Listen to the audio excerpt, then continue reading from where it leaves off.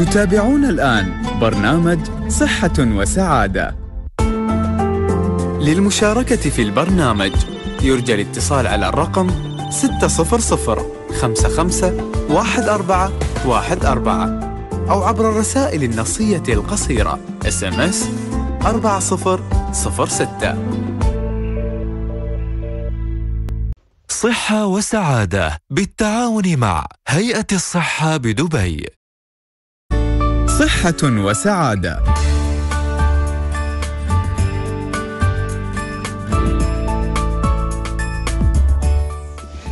بسم الله الرحمن الرحيم والصلاة والسلام على أشرف المرسلين سيدنا محمد وعلى آله وصحبه أجمعين. اللهم اشرح لي صدري ويسر لي أمري واحلل عقدة من لساني يفقه قولي. السلام عليكم ورحمة الله وبركاته أعزائي المستمعين وأسعد الله أوقاتكم بكل خير. وأهلا ومرحبا بكم في حلقة جديدة من برنامجكم صحة وسعادة. هذا البرنامج اللي تقدمه لكم هيئة الصحة بدبي بالتعاون مع مؤسسة دبي للإعلام وعبر إذاعتكم المميزة دائما إذاعة نور دبي. في هذا البرنامج نسلط الضوء على كل ما يتعلق بالقطاع الصحي في إمارة دبي وبالخدمات التي تقدمها هيئة الصحة بدبي من خلال مستشفياتها مراكزها الصحية ومراكزها التخصصية. فكل التحية لكم جميعا. مني محدثكم محمود يوسف خلف الميكروفون ومعايا أيضا كالعادة المتألقة دائما الدكتورة ندى الملا, الملا. صباح الخير محمود. صبحك الله بالنور دكتورة وكل التحية لفريق الإعداد بقسم الإعلام في هيئة الصحة بدبي وأيضا معنا في التنسيق حمد المعيوف. وفي الإخراج ميث بنبيات. sorry ميث نسيت اسمك اليوم. ميث بنبيات. خلاص زي ما في داعي يعني. حرام مسكينة. نعم. يا ميثم آه شاكرين لك تواجدك معنا. أرقام التواصل معنا مستمعينا 600 551 414 أو عن طريق الرسائل النصية على الرقم أربعة صفر صفر ستة. 4006 اليوم عندنا مواضيع عديدة وجديدة. ولذيذه إن شاء الله مثل كل يوم. إن شاء الله. بس أول شيء خلينا نروح على الفقرة الخاصة بالتواصل الاجتماعي. شو اليوم رسالة الهيئة عبر آه، قنواتها في التواصل الاجتماعي؟ اليوم إن شاء الله أنا بقرأ لكم الرسالة الصباحية رسالتنا اليوم تقول الكثير ينتظر الوقت المناسب للبدء في تحقيق أهدافه. إن كنت تنتظر أن يأتي ذلك الوقت فلن يأتي. فعليك أنت أن تخلق ذلك الوقت. شفت الرسالة محمود؟ رسالة والله. مهمة والله. والله نقول دعوا الخلق للخالق. لا سالفيات لا فعلا في وايد ناس يقول لك والله أنا أنا اتريا الفرصة ما جتني لازم ما تتريا أنت تروحك آه، بالضبط. ال- ال- الفرص دائما آه، يعني آه، الواحد يصنعها. آه، صناعة الفرصة. من الأفضل أنك أنت تصنعها وتستغلها بالشكل الجيد. ممكن آه، أيضا دكتورة نحن ننتقل إلى آه، موضوع آخر وهو موضوع يعني خبر جميل شوية آه، يكون. يعني ممكن يكون جديد يقول وجد مختصون في علم الأحياء إثباتات جديدة لكون التوحد ليست له طبيعة جينية فقط بل يعود إلى بعض مفاعيل البكتيريا في أمعاء المصاب. فقد قال عالم الأحياء جيمس آدمز من ولاية من جامعة ولاية أريزونا في مدينة توسون أن الباحثين أكملوا المرحلة الأولى من الاختبارات في المستشفى والتي أظهرت أن عمليات الزرع هذه آمنة بالنسبة للإنسان من جهة وفعالة من جهة أخرى. ومع هذا يحتاج العلماء إلى إجراء المرحلتين الثانية والثالثة من الاختبارات في سبيل إيصال هذه الطريقة لعلاج التوحد إلى السوق. واكتشف فريق آخر من علماء الأحياء الصيف الماضي أن تقنية أمعاء فئران مصابة بالتوحد من البكتيريا العائشة آه، فيها وزرع آه، هاي شو يعني؟ فلورا صغيرة شو يعني, يعني؟ يعني بكتيريا الحميدة أوكي فلورا صغيرة تابعة لقوارض تتصف بصحة جيدة حمى حما حماها من مرض نمو مرض التوحد لديها يعني يقول لك محمود آه، إن آه، مو بحمى حمى أخلافها أيوه ال- ال- اللي, اللي, جايبينها من من. نمو مرض التوحد لديها. ليش دائما يسوون على الفيران مساكين تجارب دكتورة؟ لأنه ما يستوي التجارب على البشر. وهم بالعادة آه، محمود دائما ينقون مثلا تلاقي الفئران أحيانا أحيانا القرود لأن ينقون الحيوانات اللي لها تشابه في التركيبة مع الإنسان. طيب بالنسبة لهذا الخبر دكتورة يعني هذا ممكن يكون آه، نقلة نوعية أكيد. في علاج مرض التوحد. صحيح. لأن مرض التوحد آه، يعني وايد ناس تعرفه ما له علاج آه، دوائي كامل. يعني ما في دواء تعطيه لمريض التوحد مثل مثل الزكام أو غيره يشفى عليه. فهو مرض آه، له سلسلة علاجات جدا طويلة في دوائي وفي نفسي وفي علاج اللغة وايد في آه، جوانب العلاج فإذا فعلا طلعت هذه الدراسة آه، كانت فعالة بيكون نقلة نوعية في علاج التوحد. والتوحد يعني في نسبة عالية من الأطفال أو الناس حول العالم عندهم توحد. نسبة عالية جدا يعني ممكن مو نقول؟ بعالية وايد ولكن تعتبر عالية بالنسبة لل يعني لما نقيسها بالنسبة لل- الناس اللي ساكنين في منطقة سكانية معينة يعتبر في نسبة زينة من الناس اللي أنتوا بس يقولون دائما إن عندهم مواهب وعندهم آه، صحيح. قدرات يعني تكون أكثر من ال- الناس العاديين هو من نعم رب العالمين محمود لاحظ كل مو ما يعني كل واحد ذوي إعاقة سواء كانت ذهنية أو توحد أو أي نوع من انواع الاعاقات تلاقي رب العالمين يعوضه. في ناحية أخرى تلاقي تلاقيهم يبدعون غير عن الشخص السليم اللي ما عنده أي نوع من انواع ال- الإعاقة سواء كانت توحد أو إعاقة جسدية أو عقلية. طيب آه، شو أفضل آه، طريقة نحن دكتور نتعامل مع آه، الأشخاص اللي عندهم توحد؟ كيف نتصرف معاهم؟ هو محمود التصرف العاتق الأكبر المسؤولية الأكبر تقع طبعا على على الاهل الوالدين الوالدين لأنهم يكتشفونه من عمر صغير من عمر. ثلاث سنوات بالعادة في أطفال في عمر أصغر عن شي في أطفال عمر أكبر عن شي آه، آه، نصيحتي كيف طريقة التعامل؟ أول شيء عدم الإنكار، مشكلتنا محمود في بعض المجتمعات مو بس مجتمعنا عندنا إنكار المشكلة، يعني لو أنت قلت حق الأم أن طفلك عنده عند- عنده توحد تنكر تقول لا ولدي ما في شيء منو قال عنده توحد؟ ليش تقول عن ولدي عنده توحد؟ ما ننكر المشكلة إذا كانت موجودة، إذا والأم دائما تعرف سواء كانت الأم متعلمة أو غير متعلمة، مو لازم تكونين طبيبة أو عندك خلفية طبية، أنت تعرفين طفلك غير طبيعي، وحتى ممكن وايد من الأمهات تلاقي حتى لو هي ما انتبهت تلاقي يد يدة الطفل خالته عمته تقول ترى أحس إن الطفل شوي مو طبيعي لا تنكرين المشكلة لأن لو انت أنكرتيها ما بتسعين في علاجها فتكبر المشكلة. لو انت آه، يعني اعترفتي إن في مشكلة من البداية تاخذين العلاج من البداية بالتالي انت بعدين ترتاحين. فلا تنكرون المشكلة. إذا شكيتوا روحوا عند الطبيب خليه يفحص وخذوا رأي الطبيب وشوفوا شو بيقول لكم. صحيح. طيب آه، السلطة مالتك وين؟ ورا محطوطة. في الكيس زين يقول لك آه، أنت ليش ما أكلتيها اليوم دكتورة؟ لا أحطها كسناك. آه okay. يقول لك توقيت أكل السلطة والفواكه يساعد على إنقاص الوزن. يعني يتسبب البوفيه المفتوح في الاحتفالات ووجبات المطاعم عادة في الخروج على سيناريو ضبط الوزن والسبب كثرة الخيارات من مطابخ مختلفة مع وجود فواتح عديده للشهية لكن الأمر لا يقتصر فقط على البوفيه المفتوح فهناك توقيت معين لأكل السلطة والفواكه يساعدك بالفعل على إنقاص الوزن ضبط الشهيه تقليل السعرات الحرارية التي تدخل لجسمك. ولتفادي زيادة الوزن لا تتناول أكثر من ملعقة أو اثنتين من الحلوى بعد الانتهاء من الوجبة الرئيسية. ها؟ ملعقة ملعقتين. إيه. وعندما يزداد عدد الخيارات أمامك ت- آه، تمسك بأكل آه، آه، صحن من السلطة والفواكه في مم. بداية وجبتك والأفضل أن تتناول من النوعين معا وسيساعدك على ذلك على تهدئة الجوع وكبح الشهية والاستمتاع بمذاق أطعمة مختلفة بعد ذلك بكميات منضبطة. من فوائد البدء بالسلطة والفواكه ضبط نسبة السكري وعدم ارتفاعها بسرعة لأن ارتفاعها السريع سيؤدي إلى تجدد الجوع بعد ساعة واثنتين على الأكثر. يعني نبتدي بالسلطة والفواكه أي.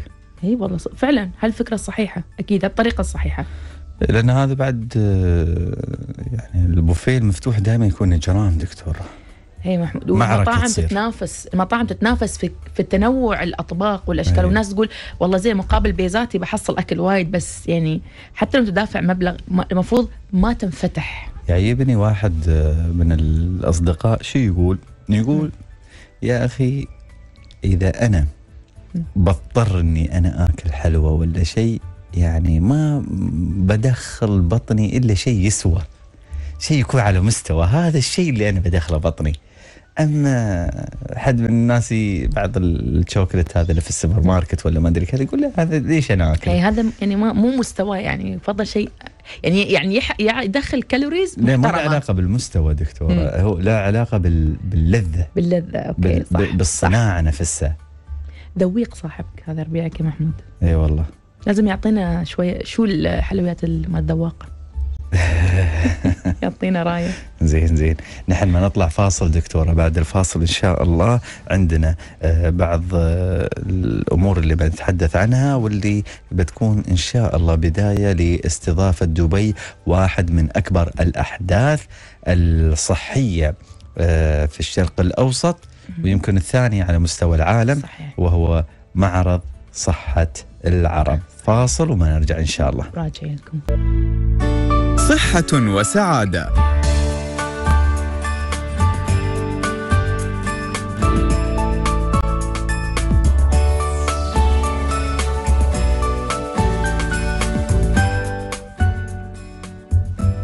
ورجعنا لكم من بعد هالفاصل عشان نواصل فقرات برنامجكم برنامج صحة وسعادة.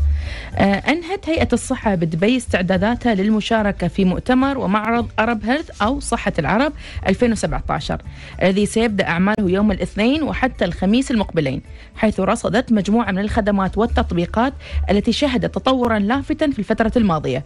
إلى جانب الخدمات والمسارات الذكية المستحدثة لا سيما المتصلة بالخطوة التي نفذتها الهيئة على صعيد تقنية الطباعة ثلاثية الأبعاد وخاصة في مجال طب الأسنان والتي سيتم الكشف عن تفاصيلها خلال أيام المعرض من خلال منصة الهيئة في قاعة الكونغرس بمركز دبي التجاري العالمي. من بين ما ستعرضه الهيئة في أرب هيلث مشروع سلامة تطبيقات طفلي وحياتي وصحتي وللحديث عن هالخدمات وغيرها يسعدني يكون معنا في الاستوديو الأستاذ وليد الظهوري رئيس قسم تقنية المعلومات في هيئة الصحة بدبي. صبحك الله بالخير أستاذ وليد. صبحت الله بالنور أستاذ. وأيضا معنا في الاستوديو كذلك الدكتورة مي رؤوف مديرة مركز دبي للتبرع بالدم. أيضا بتكلمنا عن تطبيق جديد هو تطبيق التبرع بالدم. ما نتعرف على تفاصيله من خلال آه، يعني هذه الحلقة. صبحكم الله بالخير. صباح النور والسرور. آه نبتدي مع أستاذ وليد. آه في مؤتمر Arab Health هيئة الصحة بتستعرض وايد من خدماتها وتطبيقاتها الذكية. آه وين وصلت الهيئة في هالاتجاه؟ آه في التطبيقات الموجودة. لو ممكن تخبر الم- الم- المستمعين عن تطبيقات شو الجديد؟ وين وصلتوا في هالتطبيقات؟ نحن عندنا بنعرض تطبيقاتنا الأساسية اللي هي تطبيق آه، حياتي وصحتي وطفلي. آه، طبعا آه، التطبيقات هذه في تحديث مستمر. وتطبيق حياتي ولله الحمد. آه، التطبيقات الثلاثة فازت بجائزه الشيخ حمدان للابتكار. صحيح. ومؤخرا آه، تطبيق حياتي فاز بالجائزة هذه بعد. آه، والتحديثات للتطبيق هذا مستمرة بناء على اقتراحات الجمهور ولله الحمد يعني. جميل جميل. آه تطبيق طفلي وبعد من واحد من أهم لو ممكن نعرف كل تطبيق آه بس نذكر المستمعين شو الهدف منه. آه، تطبيق صحتي آه، تطبيق هو أساسي لخدمات الهيئة. يعرض مثلا نتائج التحاليل المواعيد إلغاء المواعيد تغيير المواعيد والمعلومات الأساسية الخدمات الأساسية. تطبيق طفلي هو للأمهات الحوامل اللي ترغب ان تربي عند الخطة هذه. التطبيق يقوم بتثقيف المرأة يجعلها يحس بالأمان. وبعد خلال مراحل الحمل تسع شهور آه، هذا التطبيق يقول آه، يعطيك صورة عن آه، تطور الطفل كمثال كالفواكه يعني كيف يكبر الطفل على مدى تسع شهور. وبعد التطبيق هذا آه، بعد ما تربي بخمس سنوات يشرح له شو المراحل اللي يمر فيها الطفل. على أساس هذا يشعر الام بالراحة والأمان. وطبعا في خدمات كثيرة التطبيق وبشكل عام وعندنا تطبيق حياتي. تطبيق حياتي هو لمرضى السكري سواء كان آه، الفئة الأولى ولا الفئة الثانية. النوع زين؟ الأول أو النوع الثاني مرضى السكر. أيوه النوع الأول ولا النوع الثاني. يذكر بمواعيد الأدوية. قبل وبعد كل وجبة الهيموغلوبين آه، والسكري هو بشكل عام يعني آه، تقيسينه ويعطيش تقرير أسبوعي ولا شهري وبعد يقيس لك الحركة. نحن هل هالتطبيقات مربوطة بيسمونها إنترنت الأشياء؟ إنترنت الأشياء هي أجهزة ذكية تقيس لك آه، يعني مثلا آه، تدخل لك البيانات في التطبيق بشكل آه، مباشر من غير إنك يعني تدخينه بشكل يدوي. زين وفي تحديث جديد على التطبيق هو بيكون إضافة آه، آه، كمية شرب الماء بشكل يومي هل أنت. شربتي الماء. بشكل كافي ولا لا؟ وإن شاء الله بيكون موجود خلال اليومين هيدا. جميل.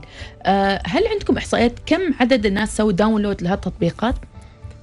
آه، عندنا نحن في صحتي تقريبا فوق ال 30 ألف download. جميل. آه، طفلي بحكم إنه تطبيق تو كمل سنة عندنا نحن آه، 8000 تقريبا download. ونفس الشيء بعد لحياتي. جميل جميل ال- ال- الفكرة في مثل هذه التطبيقات أنا أنا أتذكر أن كانت هي موجهة لعملاء هيئة الصحة ولكن المعلومات اللي تطرح في مثل هذه التطبيقات هي معلومات علمية كبيرة واسعة ممكن الكل يستفيد منها.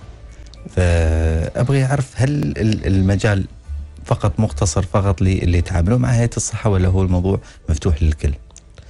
آه، التطبيق هو مفتوح للكل.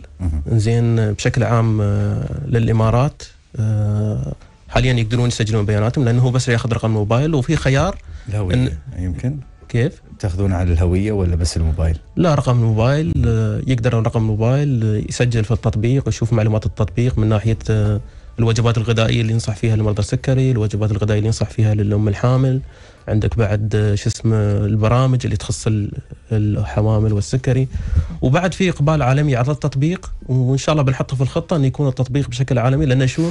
أنت عندك المحتوى من هيئة الصحة من آه، مصدر معتمد. نعم. وهالكونتنت بعد متوب عليه من الله ونحب نشكر الدكاترة اللي عندنا في هيئة الصحة اللي بذلوا مجهود كبير على أساس يوفرون المادة هذه المادة القيمة.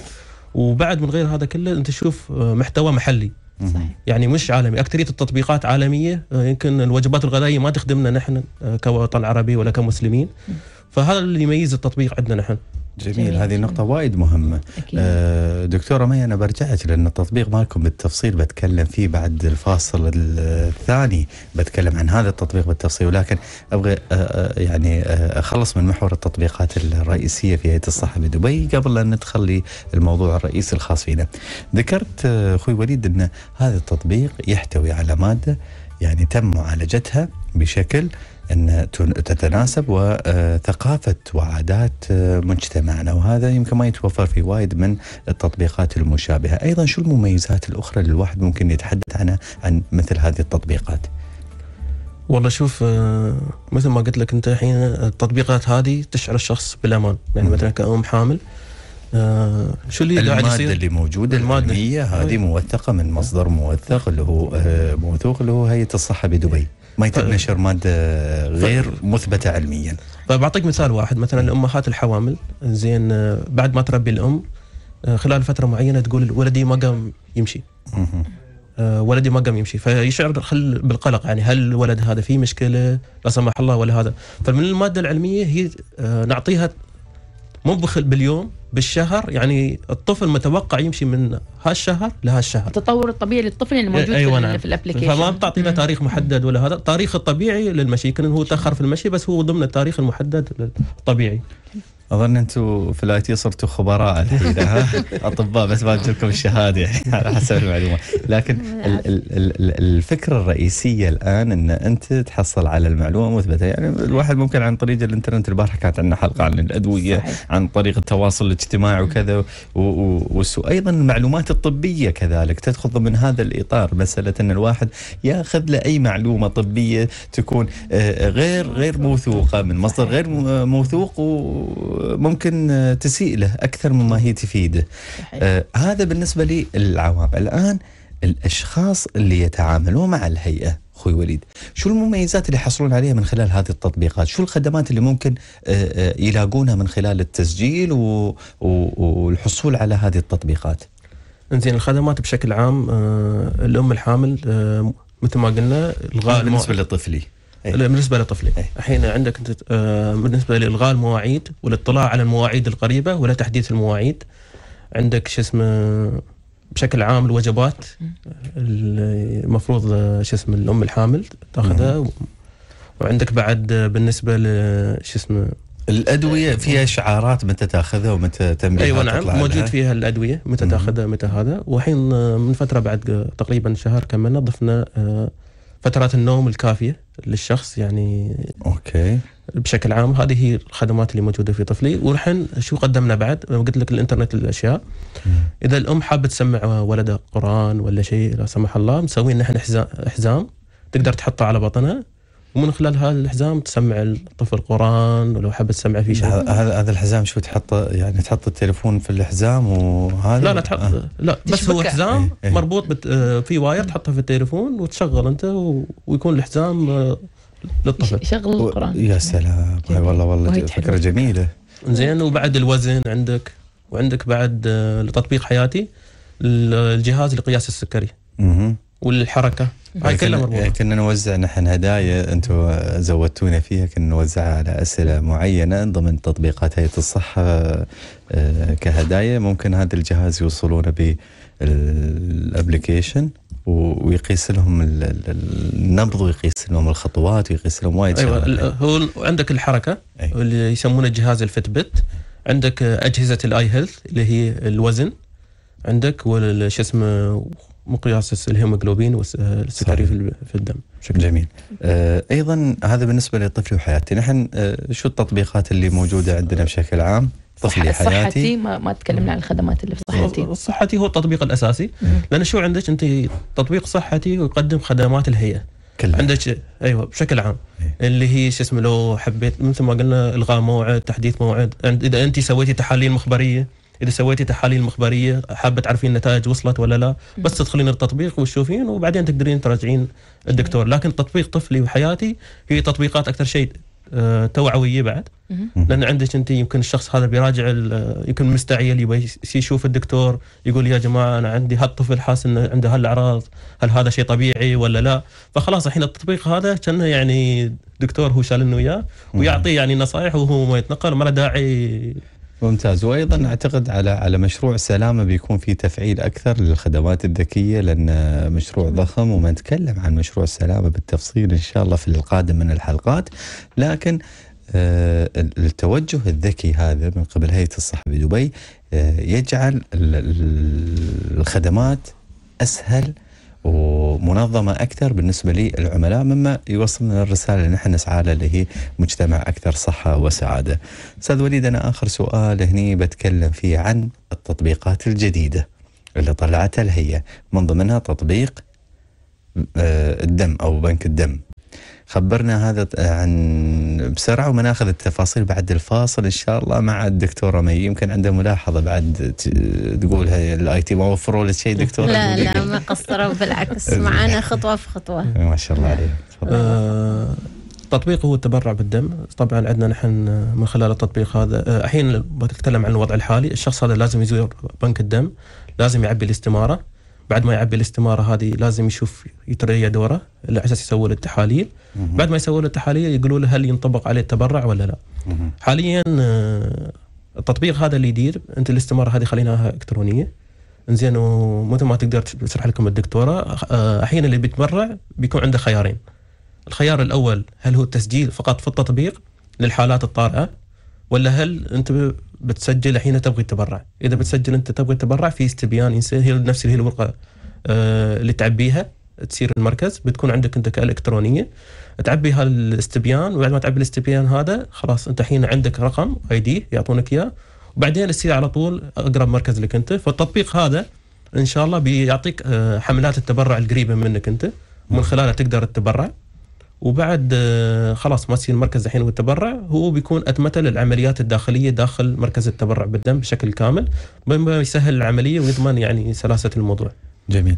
نحن أستاذ وليد ظهوري شاكرين لك آه، تواجدك معنا في الاستوديو وإن شاء الله نحن نلقي الضوء أكثر على تطبيق آه، الدم بعد الفاصل ومناخذ تفاصيل أكثر عن التبرع بالدم بما أن نحن نتحدث عن عام الخير دكتورة. فأكيد هنالك الكثير من المواضيع اللي نتطرق لها. أستاذ وليد مبروكين بعد كذلك حصول أفضل خدمة حكومية عبر الهاتف المحمول عن تطبيق حياتي. الله يبارك مبروك. نتمنى لكم التوفيق من آه، يعني والمزيد من النجاح. الله يوفق الجميع إن شاء الله. جميل دكتور نطلع فاصل. نروح فاصل ونرجع لكم بعد الفاصل. صحة وسعادة.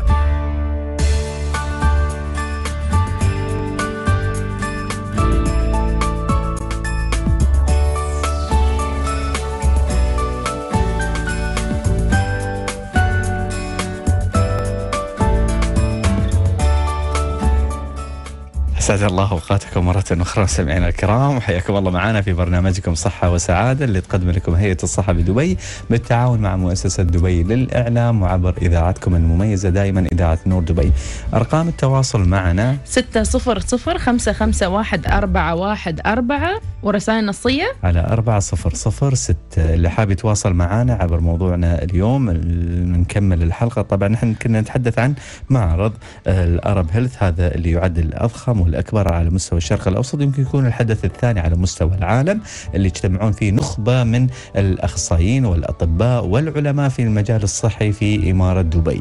طبعا كنا نتحدث عن التطبيقات الذكية اللي تطرحها آه، هيئة الصحة بدبي. كان معنا آه، أستاذ وليد آه، الظهوري. وأيضا الآن ما نتوجه إلى ال- ال- الدكتورة مي رؤوف مدير مركز. دبي للتبرع بالدم.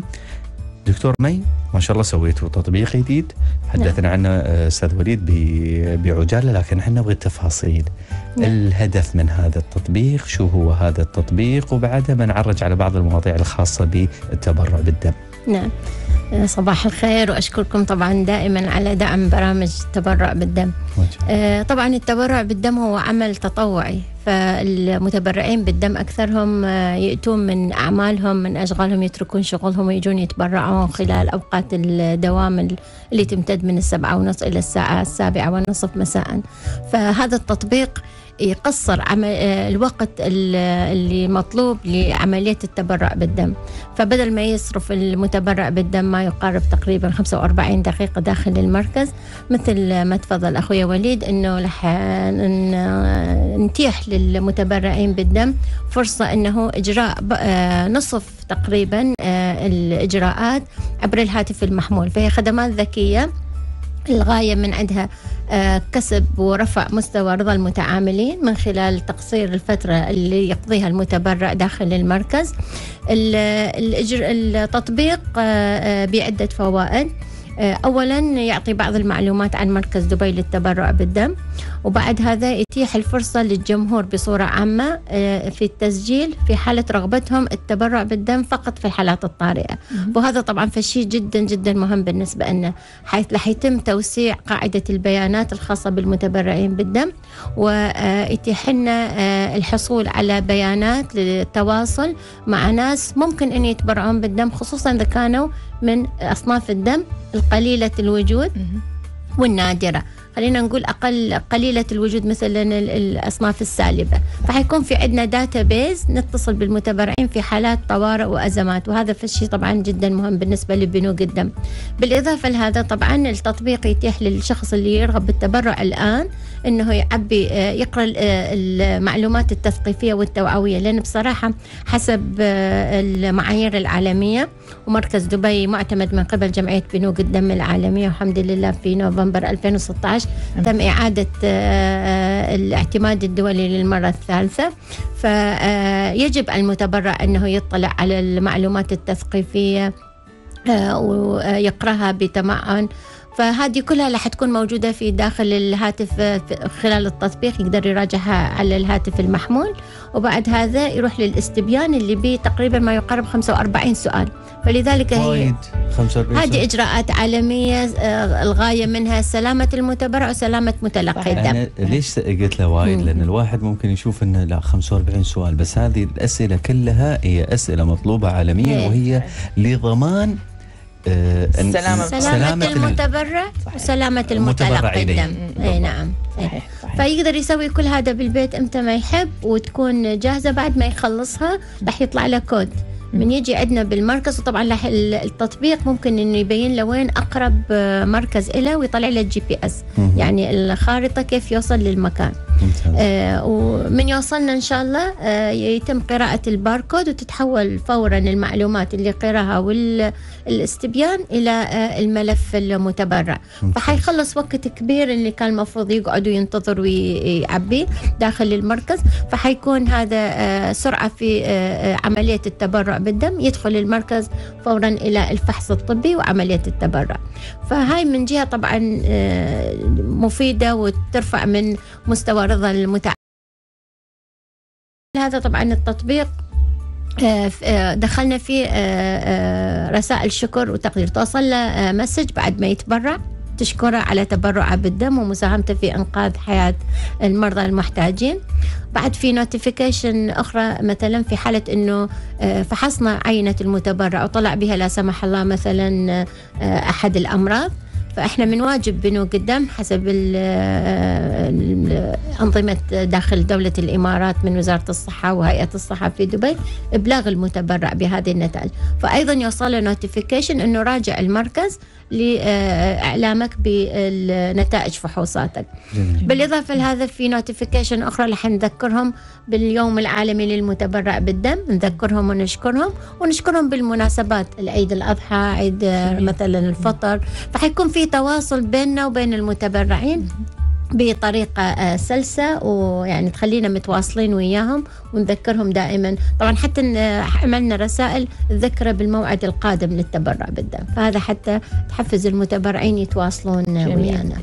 آه، ذكرتي دكتورة إن في تكون مثل قاعدة بيانات للناس آه، كل واحد دخل فصيلة دمه في في ال application فتكون تكون قاعدة بيانات للحالات الطارئة الناس اللي عندهم نعم. فصائل دم نادرة. نعم. ففي حالة الطوارئ كيف يتم التواصل مع الناس؟ هل تتصلون فيهم؟ أو يوم notification على ال application إن في حالة طارئة في المكان الفلاني يحتاج يروح يتبرع في الدم. إحنا حاليا يوميا بنتصل بالمتبرعين. في عندنا آه، يعني موظفين مختصين اللي هم آه، قسم آه، تسجيل المتبرعين. يتصلون بالمتبرعين طبعا حسب توفر الدم الموجود عندنا. بس المتبرعين دائما يحبون نذكرهم. نذكرهم إنه مثلا آه، فات شهرين ممكن تيجي تتبرع. ففي عندنا موظفين يوميا يطلعون آه، قائمه ال- المتبرعين وأرقام تليفوناتهم يتصلون بهم ويخبروهم مثلا إحنا محتاجين اليوم مثل هذه الفصيلة. أو أو حتى لو ما محتاجين مثلا اللي يكون ال stock آه، حسب المطلوب عندنا. بس نذكرهم إنه باليوم الموعد القادم للتبرع بالدم. فطبعا عن طريق موبايلاتهم ال application دخلنا فيه آه، يكتب آه، يذكر ال- الشخص اسمه ورقم موبايله والإمارة حتى في حالات الطارئه لا سمح الله حتى نشوف مثلا إيش قد هو بعده عن. المكان حتى صحيح. يكون آه، يعني لوجيكال إنه إنه نتصل آه، فيه فنتصل به بالتليفون ونطلب منه إذا في حالة طارئه خاصة الأصناف القليلة صحيح. وإحنا طبعا المركز الحمد لله طبعا آه، بدعم من آه، معالي الأستاذ حميد القطامي والإدارة إدارة المختبرات وعلم الوراثة. خلال 2016 كانت آه، سنة آه، كثير من الإنجازات آه، كثير من التطور فيها. وإحنا ناويين إن شاء الله بندخل تسجيل للأصناف أصناف الدم النادرة. في عندنا أصناف جدا نادرة عالميا مثلا البومباي group. لكن هذا؟ صنف دم جدا نادر. يعني أنا اللي كل ال- A و B و O نعم. و AB إيه. اي إيه. هذه الأصناف موجودة. العامة. إيه. اي لكن في أصناف دم نادرة. آه، لو احتاجوا بيكون جدا صعب آه، إنه نلقي هذا الدم. هو اسمه بومباي group هذا معروف عالميا. بس عدد الناس الموجودين جدا قليلين. بس في عائلة في دبي. تسكن. عندهم آه، وإحنا عارفيهم فاحنا طبعا دائما نتصل فيهم بنحاول نتواصل وياهم نكرمهم باليوم العالمي للمتبرع بالدم ال- ال- ال- ليش سموه بومباي بومباي شو؟ هو البومباي group بومباي إيه group. نعم هو صنف دم اكتشف أول آه، في في بومباي؟ في بمبي وعددهم جدا قليل يعني عالميا عددهم أها. قليل الناس اللي عندهم بس إحنا في عندنا الحمد لله عائلة مثلا قبل فترة آه، في في قطر. آه، جتي مريضة إيه. احتاجت فإحنا سحبنا من عندنا في في دبي وساعدناهم جميل. آه، إنهم فإحنا إن شاء الله. آه، يعني من ضمن آه، خ- خطط المركز إنه بنعمل ريجستري لأصناف الدم النادرة ونسجلهم صلاحية الدم دكتورة كم التم هذه؟ إحنا هذول ما نسحب منهم دم إلا إذا نحتاج إذا بس آه، تحتاجون ما نعم. ما الفصائل النادرة الفصائل آه، النادرة بس اي يعني مثلا. هذول م. ونحاول نكبر نشوف شنو أكو عندنا أصناف آه، ثانية آه، في عندنا كثير حالات صعب إنه نلقي شخص يطابق دم مثلا مر- في بعض المرضى الثلاسيميا أو مرضى فقر الدم المنجلي sickle cell anemia لأن يأخذون دم بكثرة بكثرة بصورة متواصلة. مهم. فيصير عندهم أجسام مضادة يبدي يصير صعب نلقي شخص يطابقهم. بس مثلا آه، من كثر ما يسوون عمليات تطابق يمكن يلقون شخص. فدول بنسجلهم بنحطهم في registry ونظل نتواصل وياهم. ممتاز. بس ما حنسحب الدم ونخلي لأنه عمره آه، 42 يوم 42 الدم. يوم. بس هذول. نبقى في تواصل آه، إذا غيروا سكنهم إذا غيروا تليفوناتهم بنتواصل وياهم حتى يكون في عندنا ريجستري وهذا الشيء يعني آه، عالميا مطلوب و آه، هي هي الفكرة ليش بعد يمكن سبحان الله هو يتبرع بالدم الحين. زين وأنتم بعد عشرة أيام احتجتوا فصيلة دم شو بتسوون دكتورة؟ إحنا بن بن بن نقدر إحنا في إجراءات يعني مثلا الشخص في الحالات الطارئة هذا قرار المدير الطبي. إذا يشوف طبعا إيش قد الهيموغلوبين وامتى تبرع إحنا بعد دخلنا آه، خدمة جديدة يعني كنا تكلمنا عنها محمود في السنة الفات المضت. لكن الحين فعلناها بشكل أكبر وهي سحب وحدتين دم من متبرع واحد. وعممناها من بداية هذه السنة. فالحين في عندنا جهاز. يسحب وحدتين دم مركزة من متبرع واحد وهذا طبعا يكون فائدة كبيرة للأشخاص اللي يأخذون دم بصورة متكررة مثل مرضى الثلاسيميا صحيح. حتى يقلل التفاعلات الناتجة عن آه، آه، نقل الدم بصورة متكررة جميل. ذكرتي دكتورة أن كان هالسنة سنة الإنجازات الهيئة بشكل عام يعني وايد كان. في اعتمادات إيه، آه وشهادات اعتماد. فمركزكم حصل على ال- الاعتماد من المركز من المركز الدولي من الجمعية الأمريكية لبنوك الدم. نعم. شو قيمة هالاعتماد؟ هذا اعتماد وايد قيمته عالية. لا في شغل بثمن لا يقدر. حقيقة اعتماد آه، جمعية بنوك الدم العالمية معروف عالميا هو من أصرم وأصعب ال- الاعتمادات الدولية في مجال نقل الدم صحيح. وهو الأعلى عالميا. آه، يتدخل في كل ال- العمليات الروتينية اللي تنعمل. اللي خاصة من وريد المتبرع إلى وريد المريض. فهو طبعا يزيد من آه، آه، ضمان سلامة آه، الدم وصحة الإجراءات وحتى يتدخل في تدريب الموظفين تقييمهم مكافآتهم يعني بصراحة يضيف كثير إلى مستوى أداء ال يعني الجهة اللي تأخذ هذا الاعتماد. الحمد لله. الحمد لله. أنا أنا أنا أبغى انتقل إلى موضوع آخر هي مش التبرع بالدم في شغلة الناس غافلين عنها هي مسألة التبرع بالصفائح الدموية. نعم. هذا البروسيس اللي ياخذ وقت كبير من قبل المتبرع. لأن لأن في فيها عملية دكتورة يعني عملية وايد آه، بتشرحي لنا إياها أنت الحين وبتعطينا لل- لل- للمستمعين. ولكن أنا ليش أبغى أركز على هذه المسألة؟ نحن نعيش في أجواء عام الخير. إيه فما نعم. في أجمل وأرقى وأحلى من الإنسان يتبرع بدمه أكيد. حق أخوه الإنسان. نعم نعم. فخبرينا عن هذا الموضوع. وليش أنا أذكر الصفائح الدموية؟ لانها تأخذ وقت كبير من إيه. قبل المتبرع. فهذه يعني وأسمى. مم، تفضل. أكيد. طبعا التبرع بصفائح الدم يتم عن طريق جهاز يسحب الدم من المتبرع يسحب دم كامل وداخل الجهاز في جهاز طرد مركزي فيدخل الدم ينعمل له عملية طرد مركزي تنجمع الصفائح الدموية. طبعا هي خلايا موجودة في الدم تساعد على تخثر الدم. فالمرضى اللي يكون عندهم نزيف يحتاجون إلى الصفائح الدموية وعمرها خمسة أيام فقط. فبعد الخمسة أيام إذا تستخدم تستخدم إذا ما تستخدم تصبح غير آه، آه، صالحة للاستعمال. وياخذ الصفائح الدموية ويرجع باقي الدم إلى المتبرع. طبعا وتستمر هذه five cycles يعني ياخذ الدم ويجمع الصفائح ويرجع الدم. فالعملية مثل ما تفضل الأستاذ محمود آه، تاخذ تقريبا ساعة إلى ساعة وربع. فحتى يقعد المتبرع مربوط بهذا الجهاز ساعة وربع حقيقة كل التقدير آه، والامتنان له يكون متبرع متطوع آه، يقبل أن يقعد كل هذه الفترة على الجهاز زائدا طبعا الإجراءات ما قبل التبرع فحص وتعبئة فيعني هو ما يطلع قبل الساعة ونص أو ساعتين إلا ربع من المركز. وهذا طبعا نوجه لهم التحية لأنهم طبعا يساهمون في إنقاذ حياة المرضى اللي محتاجين إلى آه، صفائح دموية لحالات النزيف آه، الأمراض السرطانية. وإحنا طبعا لأنه آه، توسع الخدمات الصحية في إمارة دبي. وطبعا ال- السي- ال- السياحة العلاجية. وزيادة عدد المنشآت الصحية مع تطور طبعا التخصصات الطبية. أصبح الطلب على الدم ومكوناته في. وقاعدين نشتغل طبعا والخطط نحطها حتى كيف نقدر نواكب هذا زيادة الطلب والحاجة.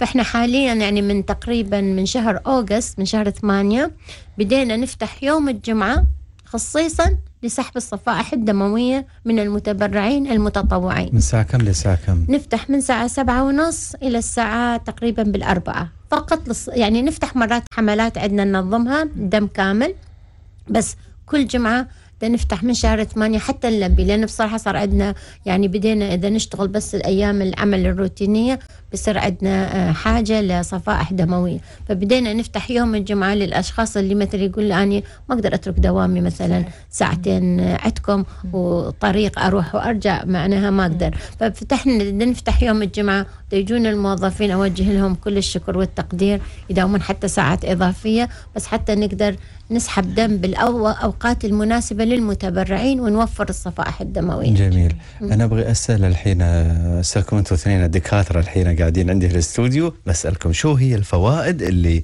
ممكن ترجع على المتبرع صحيا؟ مم. صحيا شو ممكن يستفيد؟ سواء تبرع الصفائح الدموية ولا تبرع بالدم بشكل عام؟ ها. ترومين تجاوبين دكتورة أنت ودارسة وطب أسرة أنا أفضل يعني أنا كنت بعطي الدكتورة مي لأن هي أخبر عني يعني. تفضلي دكتورة. طبعا التبرع بالدم فكرته جاية من الحجامة وهو طبعا آه، أسلوب حياة راقية وصحية بالإضافة لأنه يساهم في إنقاذ حياة آه، مريض محتاج وما في بديل للدم لحد الآن. طبعا آه، يجدد الخلايا الدموية يشط ينشط نخاع العظم لإنتاج خلايا جديدة. يقلل من نسبة الحديد الزائد بالدم خصوصا عند المدخنين اللي يدخنون فترتفع نس- نسبة الحديد فيكون التبرع بالدم آه، شيء آه، صحي بالنسبة لهم. بالإضافة لهذا كل الدراسات أثبتت أنه التبرع بالدم المنتظم يعني اللي يتبرع بصورة منتظمة يقلل من نسبة الإصابة بالجلطة القلبية والجلطة الدماغية. فهو كله فوائد من كل الجهات إنسانيا وعند رب العالمين واجب وصحي إنساني قبل أي. شيء يعني إيه. واجب إنساني واجب إنساني ووطني الواحد يتبرع بدمه بصراحة جدا فرحنا لما شفنا الفيديو اللي صدر عن آه، سيدي صاحب السمو الشيخ محمد آه، الله يحفظه في عام الخير. ومن ضمنه صورة للمتبرعين بالدم اللي تبرعوا خلال حملة دمي لوطني. وحملة دمي لوطني هذه السنة بعد آه، آه، شافت نجاح كبير ففي السنة الماضية كانت عدد المتبرعين تقريبا 3000 و- ونص لكن هاي السنة آه، وصلنا 7300 وامتدت على إمارات الدولة فشاركت صحة في أبو ظبي ووزارة الصحة من خلال بنوك الدم عندهم.